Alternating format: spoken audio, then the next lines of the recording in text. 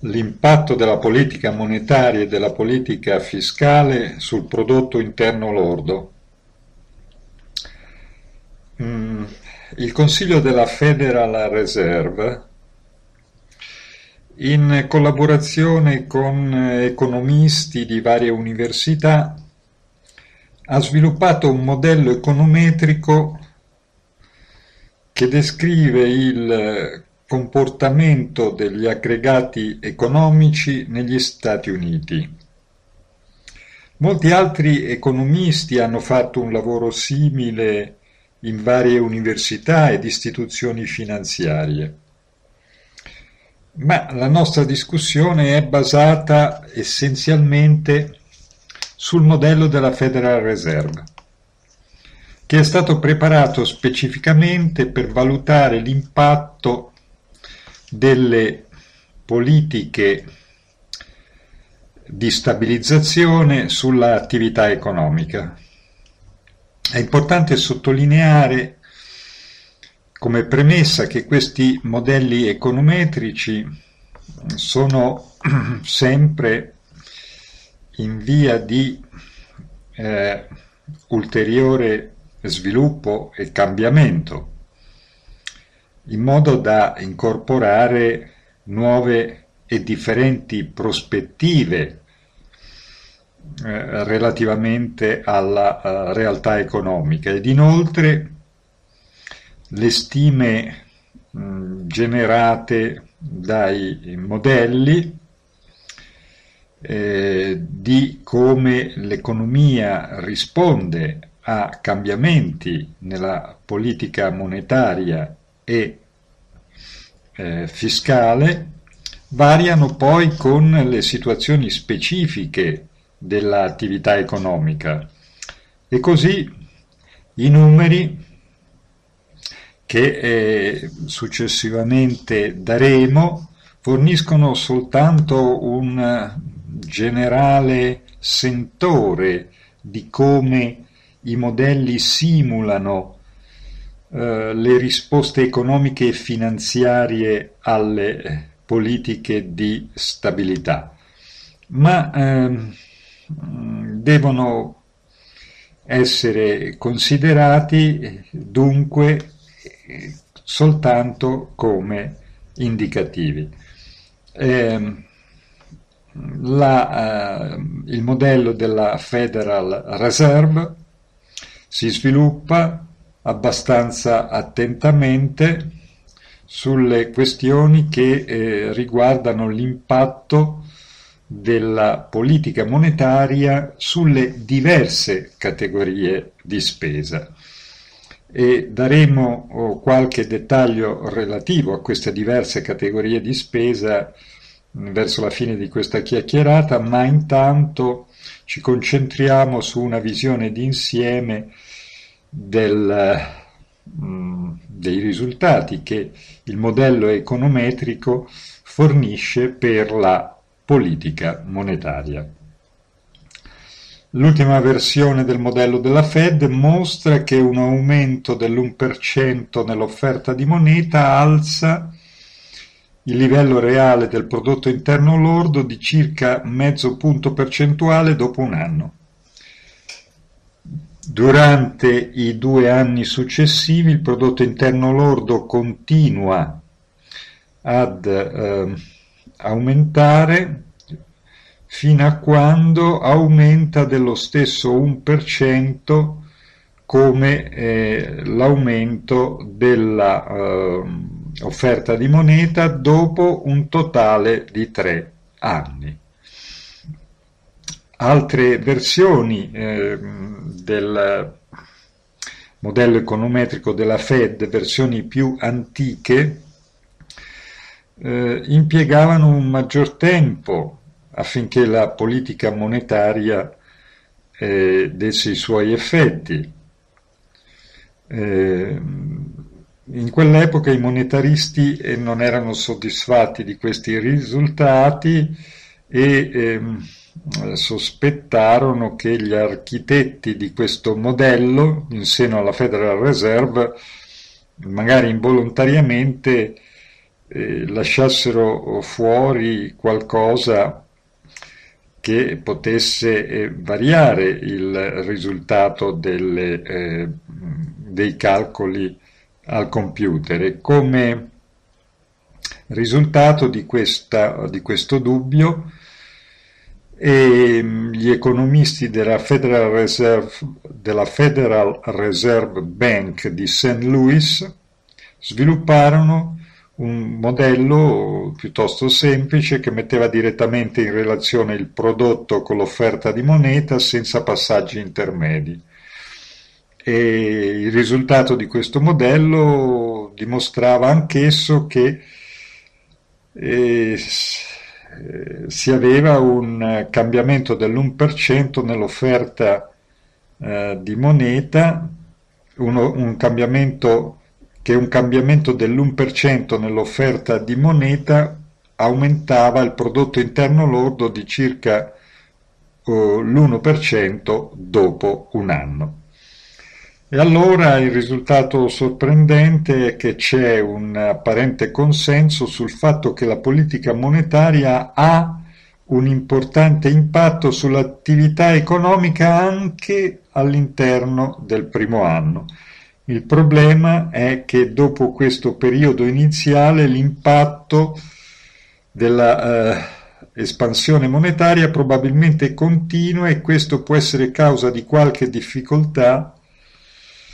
per chi guida la eh, Federal Reserve come abbiamo già discusso precedentemente. E parlando adesso della politica fiscale, Ricordiamo che le discussioni teoriche già viste precedentemente indicano una distinzione piuttosto netta fra la posizione dei monetaristi e i keynesiani sull'efficacia della politica fiscale. I monetaristi affermano che le politiche eh, eh, di spesa eh, o di diminuzione delle tasse, semplicemente spostano ehm, la spesa privata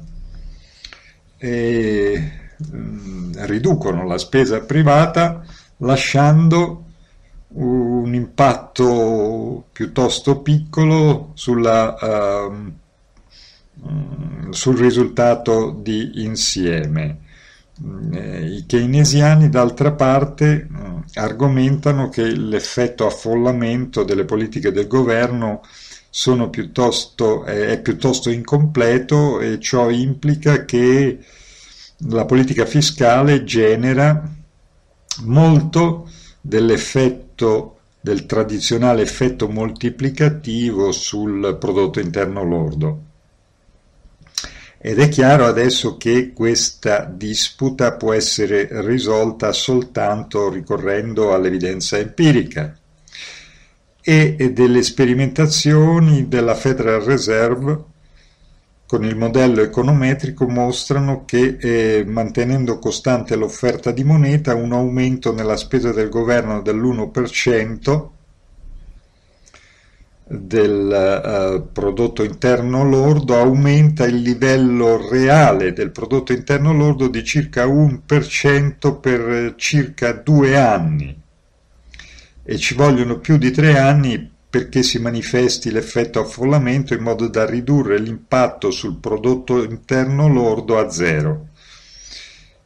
Esperimenti alternativi mostrano che se l'offerta di moneta varia in modo tale che il livello dei tassi di interesse sia mantenuto costante, allora l'effetto del moltiplicatore sul prodotto interno lordo è enorme. Anche dopo quattro anni il prodotto interno lordo è 4% più alto che senza eh, la eh, eh, nella spesa da parte del governo. Questi risultati suggeriscono che in accordo al modello della Federal Reserve la politica fiscale ha un moltiplicatore di circa 1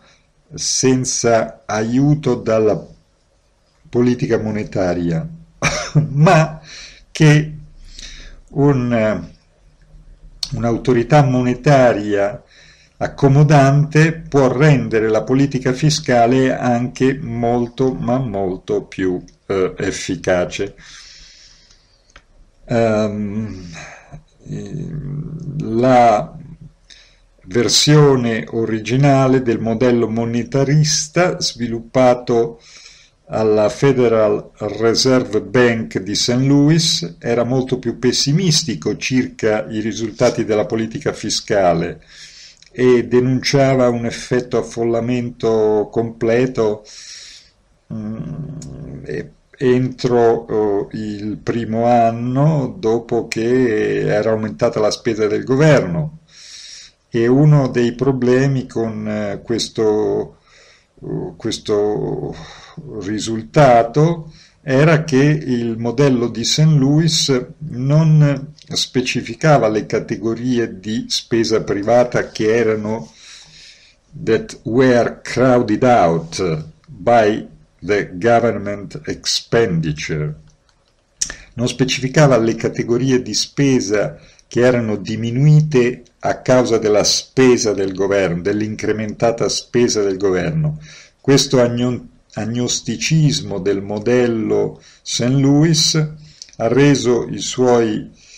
eh, risultati piuttosto sospetti, eh, perlomeno in accordo alla, mm, al, all'idea dei, al parere dei keynesiani. Sembra allora che l'evidenza empirica sulla politica fiscale confermi l'effetto affollamento, ma soltanto se eh, l'effetto restrittivo sulla spesa privata se, soltanto se si concede a questo effetto affollamento, a questo effetto restrittivo sulla spesa privata il dovuto tempo per manifestarsi. E questo ci porta all'altra questione, al ruolo dei tassi di interesse eh, all'interno del, del quadro eh, dei modelli econometrici. E allora guardiamo a come eh, eh, cambiamenti nell'offerta di moneta influenzano il livello dei tassi di interesse e poi eh, cercheremo di capire come mh, nelle specifiche categorie eh, di spesa questo effetto di, questo effetto dei tassi di interesse eh, si manifesti. Vediamo quindi l'impatto della moneta sui tassi di interesse. Eh, secondo oh, sia i monetaristi che i keynesiani, eh, l'impatto iniziale di liquidità di una politica monetaria espansiva riduce il livello dei tassi di interesse.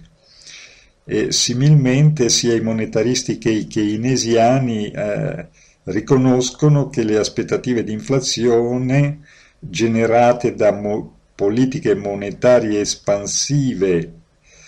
eh, aumentano, vanno ad aumentare eh, i tassi di interesse e la, la, differenza di opinione, la differenza chiave di opinione, come abbiamo già detto, si concentra su quanto tempo ci vuole affinché queste aspettative di inflazione agiscano in modo da opporsi all'iniziale uh, effetto uh, liquidità. E allora esistono dei grafici come quello riportato eh, sul post che ci dicono che mh, i livelli dei tassi di interesse di, di corto termine sono oh, sempre stati piuttosto vicini ai movimenti effettivi del tasso di inflazione. Così un ampio movimento se guardiamo un'ampia spazzolata di dati, vediamo, cioè un, se osserviamo i dati per un periodo di tempo molto lungo, vediamo che l'impatto dell'inflazione sul, sul eh, tasso di interesse, eh, vediamo che i, il tasso di interesse e l'inflazione si muovono sostanzialmente in accordo. Però eh, i grafici mostrano che mm, ci sono importanti intervalli eh, di tempo in cui i, i movimenti sono indipendenti eh, nei tassi di interesse dalla, dall'inflazione. E naturalmente bisogna identificare eh, separatamente il ruolo che ha la politica monetaria in questi periodi di, eh, in cui i tassi di interesse si, si separano dalla, uh, dall'inflazione. La maggior parte dei modelli econometrici, ehm, incluso quello della Fed, mh, mm, ci dicono che i tassi di interesse diminuiscono e rimangono al di sotto del loro livello originale per circa sei mesi, da sei mesi fino a un anno, dopo una politica monetaria espansiva e che poi tornano uh, al loro livello originario per un periodo simile e che, eh, e che diciamo, eh, così come i tassi di interesse eh, sono al di sotto e rimangono, e rimangono al di sotto del livello originale per un periodo di tempo fra sei mesi ed un anno dopo una politica espansiva, così sono al di sopra del livello originario per un periodo all'incirca simile dopo una, un intervento restrittivo. Dopo un anno comunque l'effetto liquidità è rovesciato e i tassi di interesse muovono nella direzione opposta. E in contrasto a quanto ora detto ci sono alcuni modelli monetaristi che mostrano come il, mm, il, tasso, il tasso di breve termine sui treasury bill ritorna al suo livello originale, va anche oltre il suo livello originale entro tre mesi da una politica monetaria espansiva. E deve essere anche sottolineato che la risposta delle aspettative di inflazione dipende in modo cruciale dallo stato iniziale in cui versa l'economia, a livelli dell'attività economica che, molto, che sono molto vicini al pieno impiego o quando risparmiatori ed investitori si preoccupano soprattutto dell'inflazione, allora un, mm, una risalita nelle aspettative di inflazione legata a una politica monetaria espansiva può essere anche più veloce di quanto abbiamo detto. E così mentre i modelli formali indicano un, eh, un aggiustamento relativamente lento in quanto sono basati su esperienze medie storiche eh, ogni ogni evento specifico può eh, avere in definitiva una sensitività, una sensibilità ben maggiore della media se le condizioni specifiche sono mature. E allora a questo punto è utile andare un, un gradino avanti nell'esaminare il comportamento dei tassi di interesse. I tassi di interesse dovrebbero eh, tagliare alcuna, alcune spese e i tassi, eh, i tassi di interesse che salgono dovrebbero tagliare, dovrebbero essere eh, restrittivi e i tassi di interesse che diminuiscono dovrebbero oh, consentire un'espansione della spesa. Vediamo le diverse categorie di spesa, vediamo quali sono più sensibili ai movimenti nei tassi di interesse.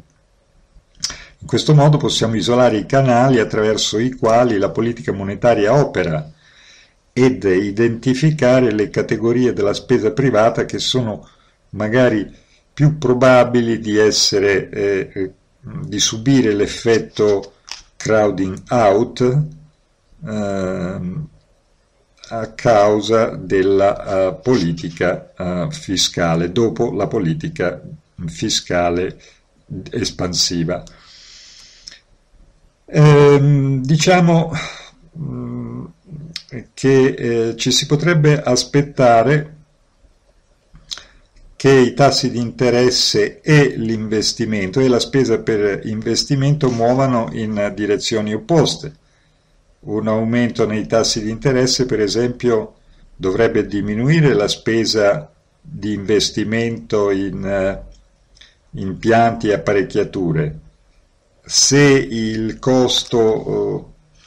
uh, per prendere in prestito il denaro aumenta, così dice la nostra teoria, eh, le aziende dovrebbero presumibilmente essere eh, voler, voler spendere di meno in nuovi investimenti. Questo eh, risultato empirico eh, si ricava mm, dall'evidenza appunto empirica storicamente eh, si ricava che i tassi di interesse e gli investimenti quasi, quasi sempre si muovono nella stessa direzione. Questo è sorprendente. Ma come in eh, tutti i casi in cui i fatti, come nella maggior parte dei casi in cui i fatti contraddicono la teoria, uno, uno di questi due elementi deve cedere terreno e normalmente sono i fatti ed e, appunto nelle, eh, nelle, serie storiche, nelle situazioni eh, che vengono registrate storicamente, molte cose accadono eh, simultaneamente, per cui esistono diversi fili di causa ed effetto da considerare. La spesa per investimenti è influenzata da, un, da, una serie di fattori oltre al tasso di interesse, ad esempio le aspettative di vendita, i cambiamenti nella profittabilità eh, prevista, le pressioni della concorrenza, il grado, il grado di utilizzo del, degli, degli, impianti, le aspettative relative all'inflazione e, e parecchie altre. Un aumento quindi nei tassi di interesse può uh, limitare l'investimento, eppure l'investimento può uh, uh, di fatto aumentare assieme al tasso di interesse se un numero considerevole di questi altri fattori che abbiamo menzionato si sposta sufficientemente in modo da da controbilanciare l'effetto dei tassi di interesse. I metodi econometrici, come quelli usati eh, dalla Federal Reserve, permettono di ehm, capire gli effetti delle singole variabili e possiamo esaminare l'impatto dei tassi di interesse sull'investimento tenendo tutte le altre variabili costanti. E allora il modello della Fed eh, mostra ad esempio che un aumento del, dell'1%, diciamo dall'8 al 9% nel tasso di interesse delle obbligazioni abbassa eh, la spesa per investimento in nuovi impianti ed apparecchiature di circa il 5% dopo tre anni, ma eh, quasi tutto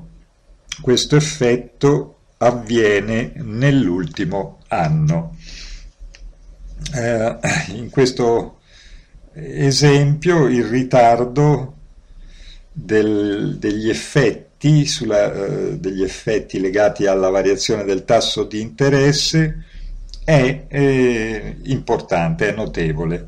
Ehm, la maggior parte delle decisioni di investimento non sono fatte oggi ed eseguite domani, le, le decisioni eh, che riguardano le nuove apparecchiature, le nuove costruzioni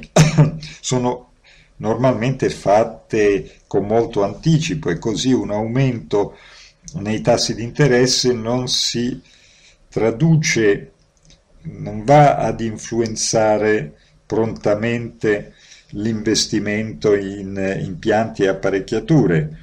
eh, va ad influenzare le decisioni attuali, le decisioni correnti che poi saranno realizzate mesi ed anni eh, dopo. E, ehm, l'impatto della politica monetaria eh, si sente più prontamente, in modo più efficace, sulla, sulle spese per le costruzioni re, residenziali. In modo particolare un aumento dell'1% nel tasso di interesse abbassa la spesa sulle costruzioni di circa il 9% entro un anno. Parte di questo effetto sulle costruzioni avviene attraverso oh, il razionamento del credito da parte delle istituzioni finanziarie eh, che sono preposte al, al finanziamento, ehm, al finanziamento dei, dei mutui. Ed infatti la disponibilità di credito è mm, enfatizzata dai keynesiani come un canale molto importante attraverso cui la politica monetaria va ad influire eh, sulla spesa. Ma questo caso specifico di razionamento del credito per i mutui è meno importante oggi che le istituzioni finanziarie sono meno specializzate. Le, le spese per eh, nuove costruzioni sia dello Stato che dei governi locali sono molto sensibili, sono anch'esse molto sensibili alle, eh, alle decisioni delle autorità monetarie.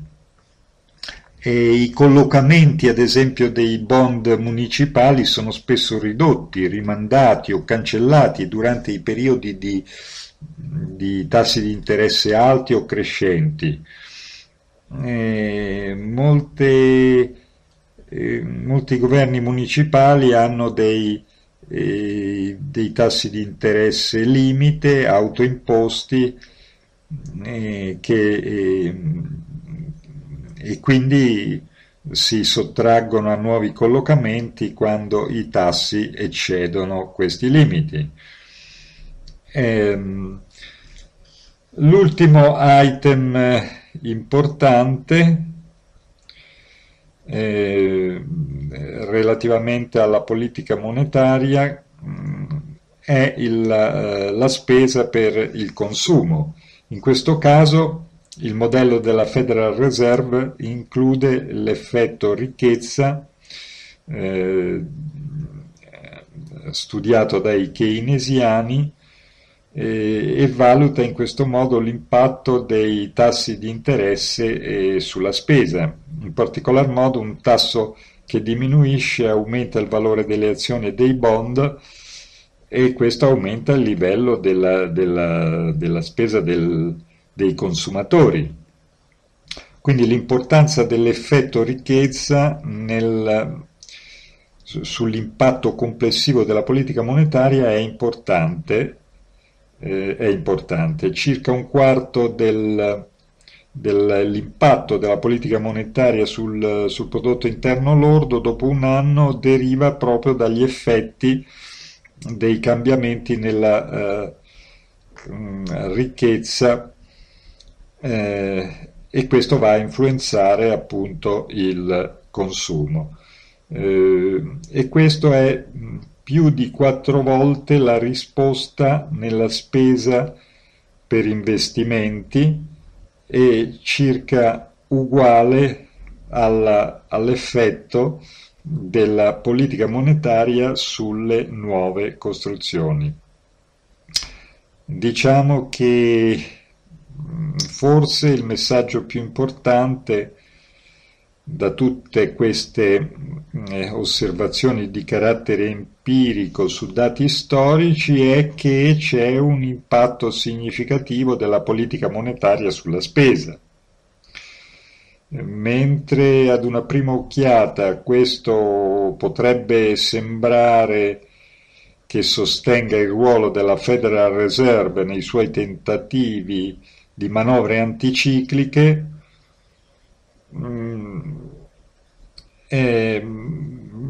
c'è anche da dire che permane la, il rischio di effetti di potenzi, potenzialmente destabilizzanti di cui abbiamo già parlato